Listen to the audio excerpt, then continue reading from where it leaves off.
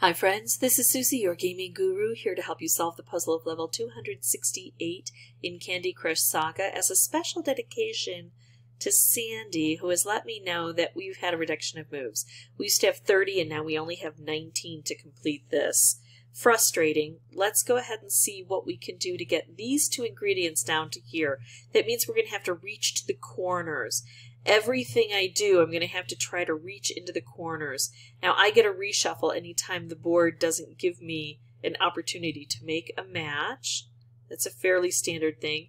I want to contemplate each and every move I have. Should I do the blue over here, which would take these out, or should I do the orange over here, which would take these out? This is a personal preference for me. I tend to get stuck on the left-hand side more than I do on the right-hand side. I just naturally think it's because I'm a reader an avid reader, and so my brain goes from the left to the right. And so it's usually easier for me to reach this area. So I'm going to focus more on this area. Plus, here's another consideration. I only have three orange on the board, but I have four blue. Four blue means I have a slightly better chance of making a special once I get more things open here, or even just a match if I can get more blue to come down so I can make a cascade. So I'm going to take out the orange, which depletes the board from all the orange except when more comes in. And now I've got this. Now look at this. I've got ticking time bomb set at five. Not pleasant.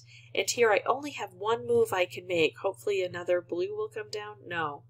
And I have to abandon this side of the board. I don't have any turns over here. So Sandy, this is where the game is a bit unfair, huh? I mean, they they restrict our movement and then they make it really tough for us with these ticking time bombs. But now I've got some area over here. Now since the the ticking time bombs over on this side, I kind of want to focus over here because I want to take these out. I could make a stripe and that would help through here. It's not a bad choice, but instead I'm going to take out the frosting that's over here and keep trying to get this going. I'm going to set this up. I see that I've got more purple I can bring in if I need to. That worked out on its own. Now I've got this stripe.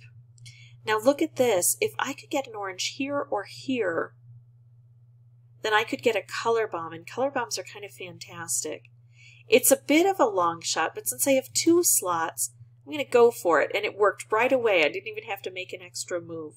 So now if I get into any trouble with these ticking time bombs, I can just take out a color and concentrate things down.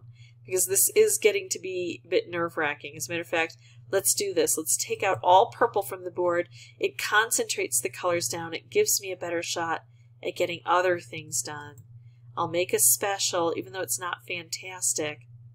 I'm trying to reach over. If I could get an orange here, that would be good, but I don't have that option. Let's take out that dangerous ticking time bomb. And then I'm going to use the specials I have on the board now. Because now I've got this open field and I've only got four colors.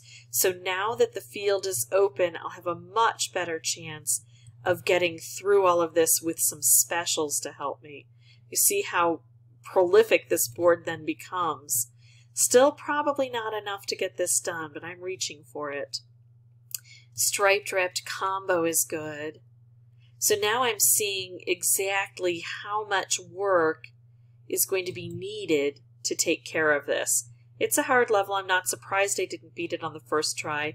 I'm going to pause the recording, come back with a new board, and work even more on getting those combos. So I'm going to worry, instead of getting to the edges now, I'm going to work on making a bigger field. Every time we play, win or lose, we hope to learn things that'll help us. I'm revising my strategy because that one didn't work. I was still really far away, and I saw hope for something better. So I'll be right back with a new board and a new approach. Well, this setup looks very familiar. Got another reshuffle. I don't want to bring down these um, ticking time bombs if I can stop it, but I don't know that I'll be able to stop it because I'm working on this center here, right? So now I'm making the specials that can help me. I'm ignoring this a bit. I know it's dangerous, but I need specials and I need combos. Now look at how open this is. Have you ever seen a wrapped wrapped combo go? Because it's pretty fun. It has a nice big blast radius. Mostly a wrapped candy will go the eight squares around it. But when you combine them, not only do you have now a longer field, so I go further out, but also it goes two away. And so I go all the way up here, all the way out here, all the way out here, all the way down here. And then uh, for this one, all the way down here. Plus then these will drop and they'll go even further. Once they're dropped into this position, they'll go all the way down to here. So it's going to be kind of spectacular. Also, this should drop down lower and then get removed. It's really going to be a big blast there. Notice that guy is still terribly trapped. I'm not all that thrilled with that, but I'm making progress here. Making these specials that can help and just allowing them to kind of clear this board for me. I do have this difficulty, and I'm going to try to bring things into position. There we go. So I'm not there yet, but I'm so much closer than I was. Is there any way to bring a blue to make a color bomb here or a color bomb here? I don't quite see it. I think I'm just going to keep blowing things up. I could make this stripe here, but I think instead I'm going to set this stripe off and blow things up and allow the specials to come in on their own. Now I've got this. And now what? Oh, I really want to set this up with something special. I can't. I could try to bring that down. I'm going to just take out all purple from the board and concentrate these colors. Because when I take out a color, then I'm even more likely to get the specials I need. That didn't work as beautifully as I had hoped. What should I do?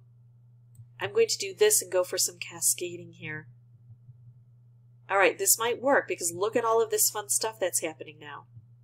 It's just kind of crazy taking over there we go. We're going to blast that out, and then I'll have one more strike to make on this.